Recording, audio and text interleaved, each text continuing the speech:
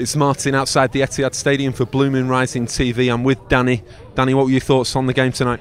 Uh, open game. Like to have won, but didn't lose. So um, I think we played well overall.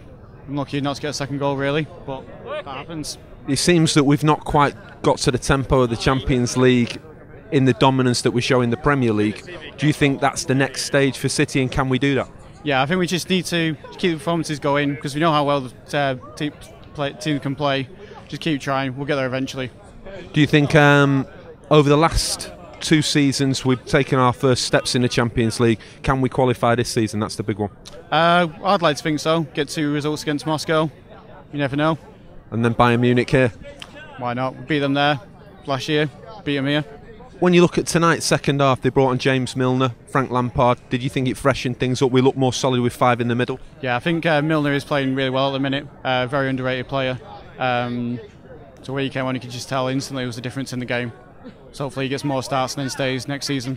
Where I was watching the game, uh, around me, a lot of fans were still barracking Yaya a little bit for his lethargy. What were your thoughts on his performance?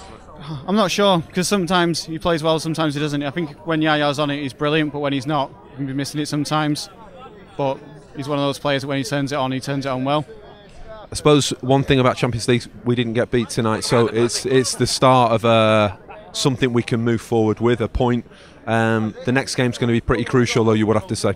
Yeah, but even though we're struggling in the Champions League, you need to think where we were a few years ago.